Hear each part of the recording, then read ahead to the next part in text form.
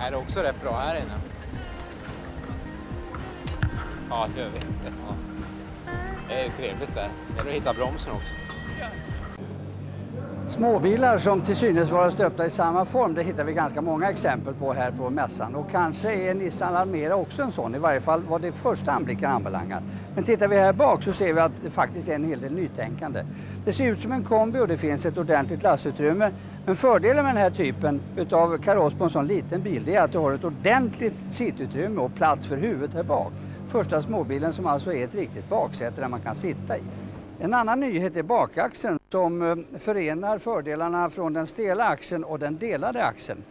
Den här Nissan-konstruktionen har fördelar från den stela axelns körsäkerhet och den delade axelns komfort. Sen kan vi väl titta på en liten kul detalj och det handlar om tryckta kretsar. Och de här tryckta kretsarna som finns i dörrarna de eh, förenar alltså de kontakter som finns till sidospeglarna, till centrallås och till fönsterhissar. Det här är tryckta kopparledningar på en plastmatta och när det här går sönder på något sätt så byter man alltihopa men man slänger det inte utan alltihopa kan återvinnas.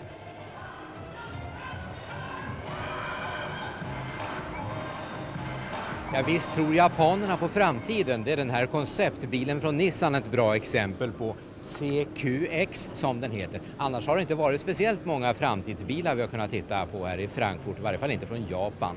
Den här är intressant därför att den är byggd helt i aluminium och med ett billigare sätt att bygga aluminiumbilar som testas där borta. Det kommer vi att få se mer om redan om några år tror man. Den har en avancerad barnsäkerhet, en ny typ av miljömotor och automatlåda som sänker bensinförbrukningen och gör körningen mer komfortabel. Och karossformen då, vad säger vi om den? Ja, en gissning är att eh, mycket av det här kommer vi att känna igen redan i nästa Nissan Primera som kommer om något år.